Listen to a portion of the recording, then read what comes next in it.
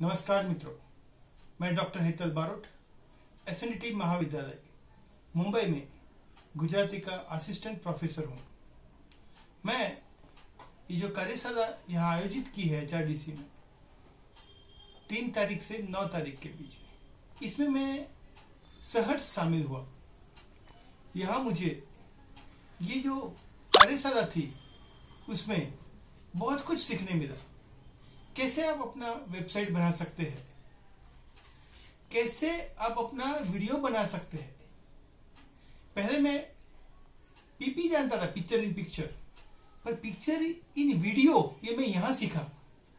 और ये बच्चों के लिए बहुत ही उपयोगी हो सकता है। कौन सी साइड आपके लिए ज़रूरी है? ये बहुत सारा नॉलेज मुझे यहाँ पर मिला।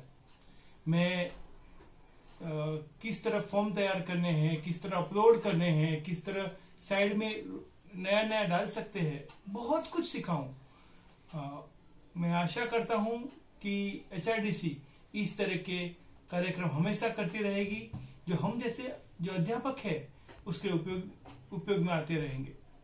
मैं तहे दिल से एचआरडीसी विभाग, जो गुजरात यूनिवर्सिटी में है, उनके doctor, director professor Jagdish Joshi, उनके स्टाफ और जो हमारे पास जो रिसोर्स पर्सन आए थे, उन सबका आभार मानते हुए मैं मेरा वक्तव्य खत्म करता हूँ। धन्यवाद।